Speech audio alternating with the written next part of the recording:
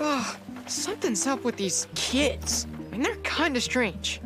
I know! I tried to talk to a shopkeeper, but they just kept repeating themselves. Yeah, and that kid over there guarding the swamp said I wasn't the right level. I was like, well, maybe you need to get on my level. Hey, you talking about me? You wanna go, buddy? Huh? Yeah, I want to go to the swamp. What's their deal? Yeah, what kind of game are these kids playing anyway? A video game! Uh, I don't see any controllers. No, no, no, like pretend. Listen, I've played a lot of games, and I've seen this in all of them. Levels, weapon shops, chickens where they shouldn't be. These kids are pretending they're in a role-playing game.